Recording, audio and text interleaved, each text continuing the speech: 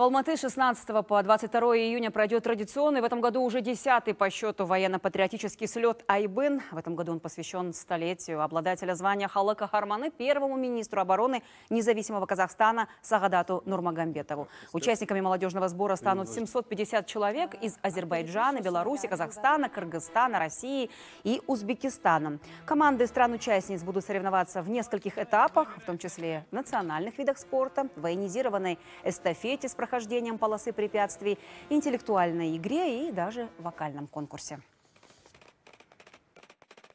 біріншіден ә, бұл зияткерлік ойындар Сначала будут интеллектуальные соревнования, в том числе путешествия в историю. Команды-участницы смогут представить культуру, быт и народные традиции своей страны. Потом творческие и воинские эстафеты.